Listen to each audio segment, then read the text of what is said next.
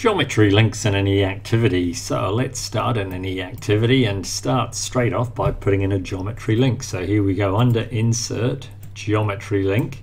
Um, a little box appears here and the sort of link icon. Now we'll put in the equation of a parabola. y is equal to x squared here and I'll tap execute.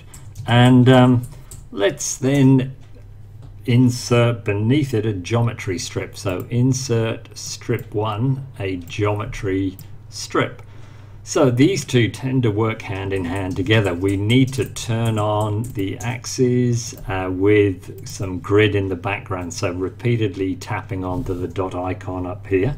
And then I'm going to take uh, our function and drag it into the downstairs window and release and the graph is drawn. Now the magic of this little strip is that if I select this parabola and maybe translate it a couple of units to the left and maybe down one unit, notice what happens instantaneously. The geometry link up here has reflected the change we make down here. Let's move it four units over to the right. So if I drag this about four units to the right, then the equation's updated and so on.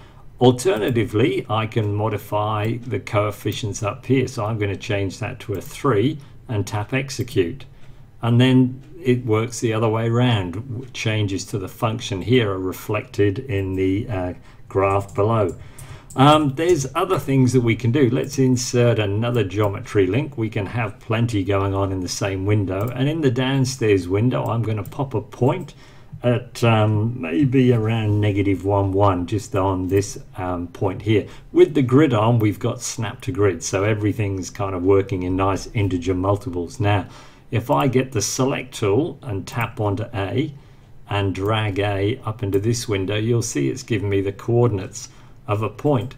So let's add another one down in here and of course if I move A around then that works. So just about every um, object that we can draw in geometry we can link to a geometry link. Uh, let's take another point downstairs. So I'll get the point tool and we'll put in um, point B maybe about there. And then we'll link them up with a uh, line segment from A to B.